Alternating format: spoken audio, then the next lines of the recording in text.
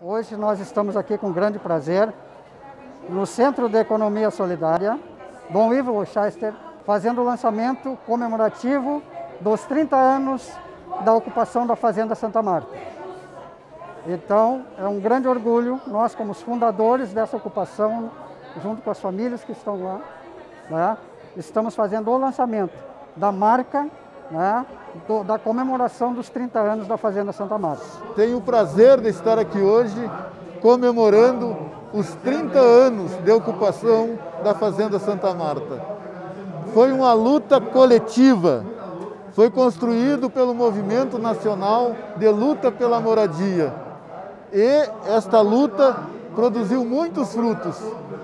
Passamos por muitas dificuldades, é verdade, mas é uma vitória para Santa Maria, é um testemunho para o Brasil e para a América Latina, quando o povo organizado, liderado pelo movimento de luta pela moradia, pelas pastorais sociais da Igreja Católica e pelas as pessoas, as autoridades comprometidas com a organização popular.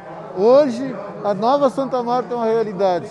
30 mil pessoas aproximadamente moram lá e é um orgulho para Santa Maria.